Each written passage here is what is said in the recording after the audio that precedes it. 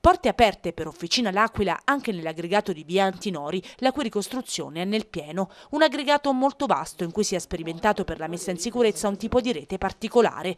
Più di 20 appartamenti e un anno e mezzo ancora prima di poterlo restituire ai proprietari. L'ingegner Subrizzi ci spiega tutti gli interventi. Innanzitutto oh, vabbè, dalle immagini riuscite a capire che uno degli interventi principali è la posa in opera di reti fibrate. Eh, ancora prima di mettere e posare le reti fibrate, gli interventi principali dal punto di vista strutturale sono stati quelli dei cuciscuci, eh, nuovi architravi e successivamente poi è stata posata in opera questa rete fibrata che serve naturalmente a rinforzare le murature.